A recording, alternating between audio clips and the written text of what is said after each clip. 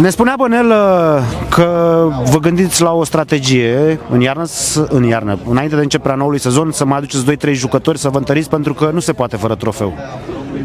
Păi a trecut ceva uh, timp de când am mai uh, reușit să câștigăm trofeul la, la Victory Cup și într-adevăr încercăm să mai aducem ceva sânge proaspăt, dar uh, vom vedea. Important e că și la anul vom fi prezenți la această competiție, o facem cu, cu drag. Sunteți una dintre cele mai vechi Da, cel, asta mi-a luat uh, vorba. Adică suntem, cred că printre primele participate la, la competiția uh, organizată de către voi. De la an la an a crescut. Ne bucur acest uh, fapt că încă suntem competitivi. Dacă eram puțin mai atenți uh, anul acesta, cred că prin, puteam prinde și uh, podiul. O echipă cu nume grele în fotbalul românesc, la All New Stars, uh, te-ai gândit așa la, sau ți secret la transferuri?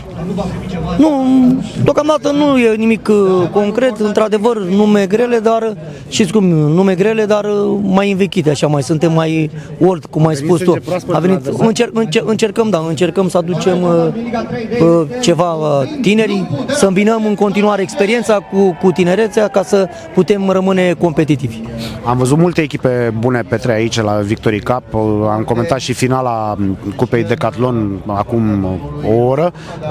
Uh, Cum vezi nivelul? Pentru că ai spus și tu, ai atâția ani aici la Victory Cup, nivelul crește, vine sânge proaspăt, tot mai mulți uh, fani ai mini-fotbalului? Ăsta este un lucru pozitiv.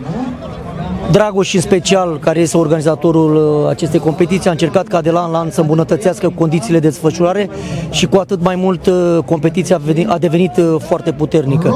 Cum mai spus și tu mai devreme, aderă din ce în ce mai mulți foști fotbaliști la această competiție, dar în același timp vin și foarte mulți uh, tineri și competiția într-adevăr uh, este foarte uh, competitivă. Dar, uh, cum am spus, din punctul meu de vedere, este poate cea mai uh, bine organizată competiție de mini-fotbal din București, cu siguranță, cred că și din, uh, din țară. Și acest lucru este, sau cei care organizează competiția împreună cu voi trebuie să felicitați. Sunt mulți uh, participanți la Victory Cup care ne-au spus că se uitau la voi doar la televizor și acum încearcă un dribbling pe lângă voi, încearcă să dea la poartă de lângă voi foști fotbaliști de Liga Campionilor, campioni ai României. Cum îi chemi pe cei care vor să participe, cum îi chemi la fotbal? Fă o invitație, la mini-fotbal.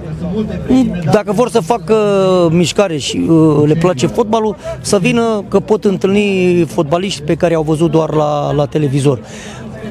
De asta repet puțin ce am spus mai devreme. Cu noi când joacă marea majoritate a echipelor se autodepășesc pentru că ai spus tu puțin mai devreme dar noi venim pentru mișcare, venim să ne simțim bine, după aceea știți cum e, stăm și aici la, la pub, la, la, la o pahar de, de bere, asta contează foarte mult, că venim, socializăm, uh, avem ce povesti și încercăm să rămânem uh, uniți cum am fost și uh, pe vremea când uh, eram uh, jucător de fotbal.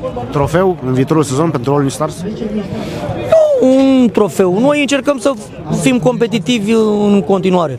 Avem și uh, băieții mai tineri care sunt la, au promovat de Liga 4 la Liga 3 deci încercăm să aducem uh, tot timpul sau, sau All New Star să rămână acolo în top tot timpul. Mulțumim frumos!